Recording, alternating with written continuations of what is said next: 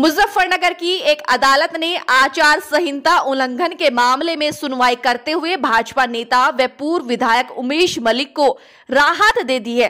Court ने पूर्व विधायक को साक्ष्य के अभाव में बरी कर दिया है, जबकि मुकदमे के एक सह आरोपी पहले ही अपना गुनाह कबूल कर मामले में तीन सौ रुपए का जुर्माना भुगत चुके हैं। 2012 का एक मुकदमा था।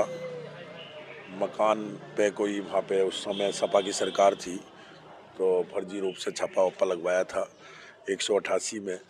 वो उस वो मुकदमा आज समाप्त हुआ है आज उसमें बरी हुआ है।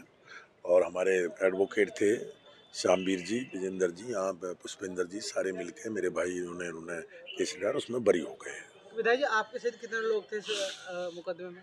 इसमें मैं था और एक दूसरे एक और थे दो ही लोग थे। आ, दोनों के दोनों ही बरी हो गए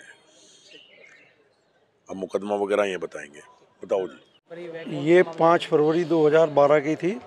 चुनाव चल रहा था हमारा ऑफ़िस था विधायक जी का और उसमें पुलिस ने एक रेड की थी। उसमें उन्होंने वहाँ से ये कहते थे कि यहाँ पे खाने का कुछ सामान पकड़ा गया।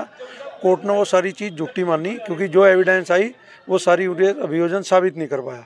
इसमें दो वो लोग थे मलिक साहब थे और एक जो मकान मालिक थे सतपाल सिंह। वे भी थे। ये शाहपुर का था मोहल्ला सैनियान का। 2012 का जो विधानसभा चुनाव था उसकी घटना थी। ये पाँच फरवरी 2012 की। उसमें 123 और 127 जनप्रतिनिधि अधिनियम और 171 एच आईपीसी ये तीनों धाराओं में हमें दोष मुक्त कर दिया क्योंकि अभियोजन कोई अपना साक्ष्य साबित करने में असफल रहा।